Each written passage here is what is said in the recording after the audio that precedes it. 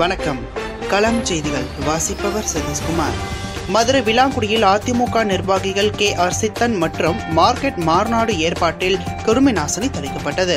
மதுரை இருபத்தி மூன்றாவது வார்டு அதிமுக வட்ட செயலாளர் கே ஆர் சித்தன் மற்றும் அதிமுக மாணவரணி மாவட்ட இணை செயலாளர் மார்க்கெட் மார்நாடு ஆகியோர் தங்களது சொந்த செலவில் விளாங்குடியில் உள்ள வருமான வரி காலனி பகுதிகளில் கொரோனா தொற்றை தடுக்க நோய் தடுப்பு நடவடிக்கையாக வீடு வீடாக சென்று கிருமி நாசினி மருந்தை தெளித்தனர்.